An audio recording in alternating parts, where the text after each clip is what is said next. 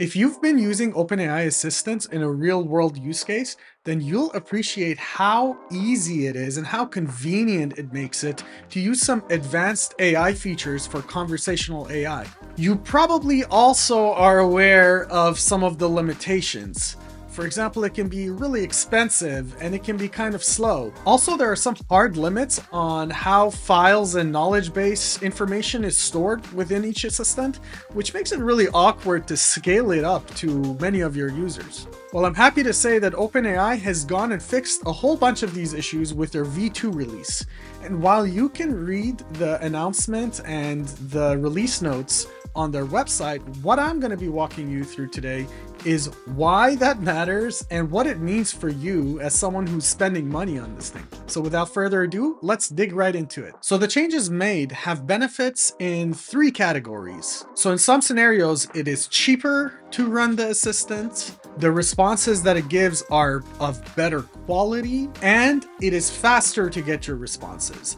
And all of these three things are enabled by additional layers of control that they've enabled for you as the developer to be able to program this thing. Before understanding what's new, you have to understand what was there before. So let's take a look at that together. So in the V1 version of Assistants, you start off by creating an assistant and giving it a system prompt, such as, you are my personal finance bot, uh, given these files, please help me plan for my retirement or something like that and you can upload a bunch of files to this assistant, which it then goes and slices up and makes them ready to be retrieved in relevant contexts as you're having conversations with it. In order to have a conversation, you start a thread, you can put a user message and then start a run which then goes and calls any tools that need to be called. For example, using the code interpreter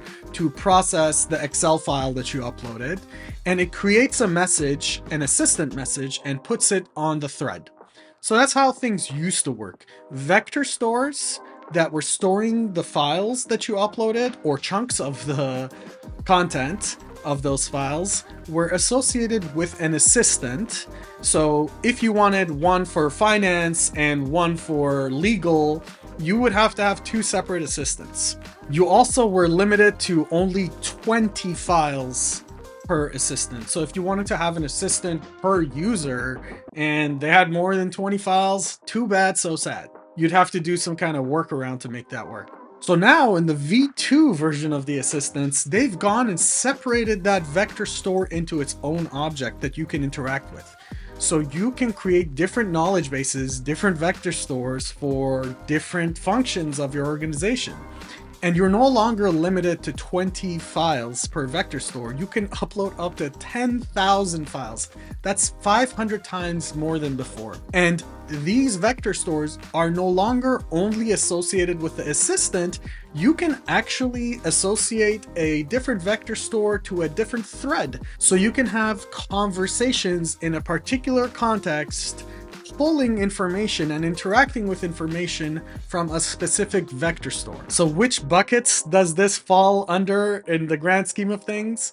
Control, cost reduction because you have to make less assistants to do your thing and higher quality responses because you will have specific information for specific conversations. But that is not all. They've also vastly improved how this information is retrieved from these systems. Let's take a look at V1 to see what they were doing before.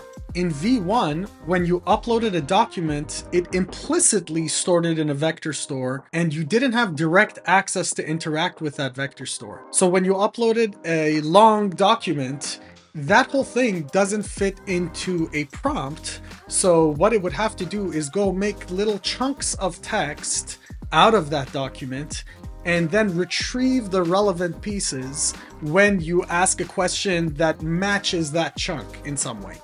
So what does that look like end to end in V1? Let's say you're making some kind of health research bot and you've uploaded a bunch of files uh, about research papers for some health conditions.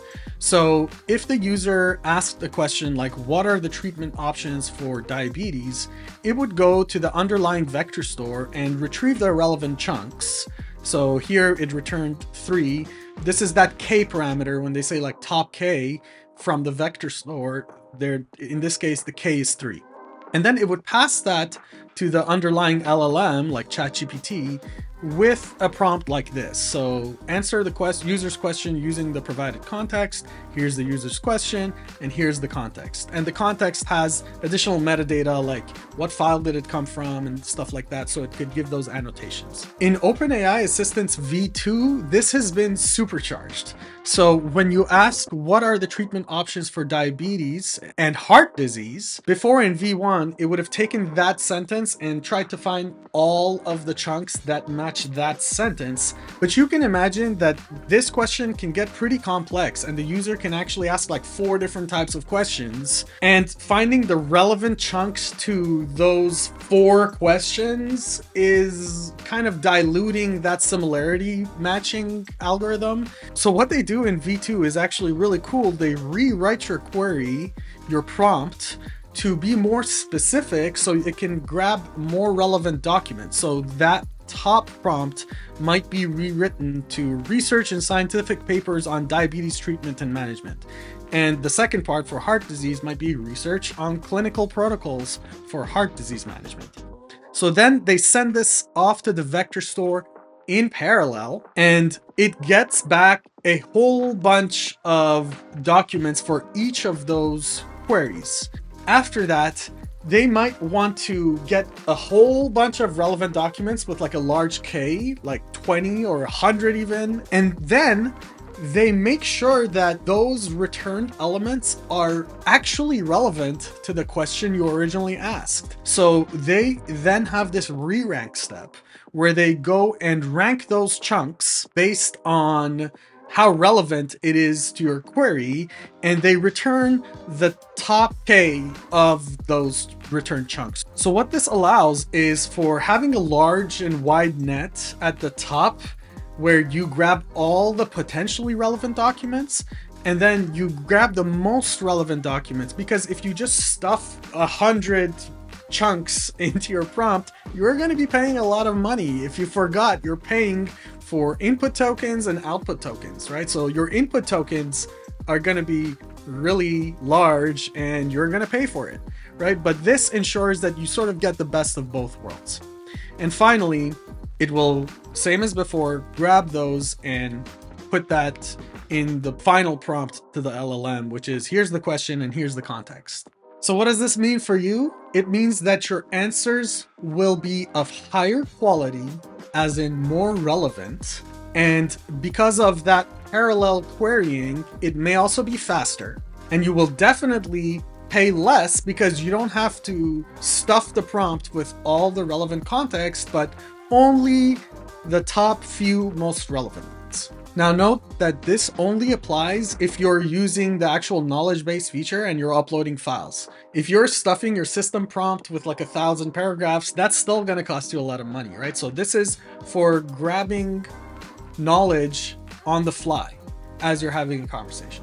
Speaking of prompt stuffing for your system prompt, why do people end up doing that in the first place? Well, it's because they're trying to get the LLM to behave in a certain way and the base training that OpenAI has provided doesn't allow for that. So you have to give a huge set of instructions that it should follow to respond to different scenarios. Well, one thing that's always been done when you have stuff that doesn't fit into a prompt and you're trying to control how the LLM responds is fine tuning. If you weren't aware, you can actually go on the OpenAI website and you can fine tune a GPT 3.5 model to respond how you like it. You just give it a whole bunch of examples.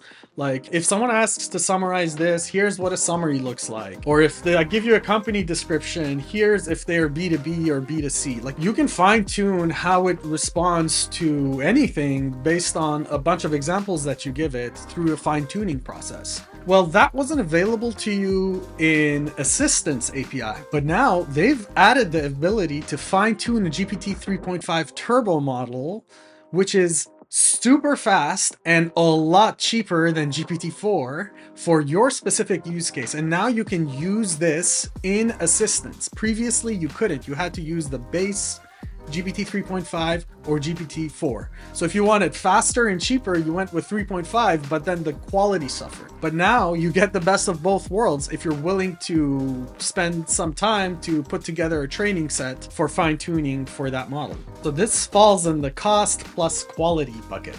One of the other reasons that assistants were so expensive to run in V1 was that as this thread keeps growing, it's essentially adding more and more and more and more information to then stuff into a prompt to give to the LLM. And so you're using a lot of input tokens and the cost just keeps growing as the thread gets longer. But now they've added the ability to put a cap on how much context you want to include in each of those threads as it's going back to the assistant. So that's one way that you're going to be able to save money just by switching to the V2 and leveraging that option.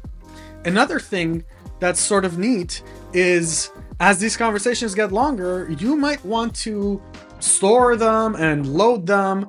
Ideally, you'd want like a user that's coming back to have a conversation with your assistant to just resume from where they left off without passing the context of like three months of conversation history to the bot because that would be very expensive. So what they've allowed you to do now is predefine the messages before starting to interact with the assistant. So you can preload some user messages and some assistant messages back and forth that are hidden before starting the conversation. So a way you might use this is to provide a summary of key facts that have been discussed so far or key decisions that have been made or whatever is relevant to your use case in that uh, sort of pre conversation context as user and assistant messages to sort of simulate the conversation that has happened so far before continuing to have discussions with the bot. I thought that was a pretty cool low-level control mechanism that advanced bots are certainly going to leverage. Again, by adding this layer of control, they're allowing you to even further optimize the cost of running a high quality assistant. Now there is one final feature I know is going to be super popular with everyone because almost every AI consulting client that I've worked with that's using assistants has asked me about this. And it makes a huge difference in the end user experience. What am I talking about? Well, when you're using ChatGPT, you just type in your prompt and you get a streaming response. That's super important for the user experience because the user can start reading immediately. But previously with assistants, you had to wait for that entire paragraph to be generated before getting your answer. So when using off-the-shelf tools like BotPress or VoiceFlow or coding your own uh, assistant, there was no option to stream the responses. That made for a really suboptimal experience, especially when everyone was getting used to streaming responses. Well, with the V2 release, they have now provided streaming endpoints, as well as integrating that into their Node.js and Python SDKs. So what you're going to see is a lot of these off-the-shelf tools that leverage assistants are finally going to be able to stream the responses back to you. Well, that pretty much covers what I wanted to talk about. There are some other things around tool calling that you may be interested in if you're doing that kind of thing check out the docs on the OpenAI website. But for now, I hope you learned something. I hope you enjoyed the video. Feel free to ask a question in the comments. I'll be happy to answer them. And if you're looking for something a little bit more involved and need some guidance implementing AI for your business, check out the description. We're here to help. I'd be happy to chat with you. My name is Borna, and I'll see you in the next one.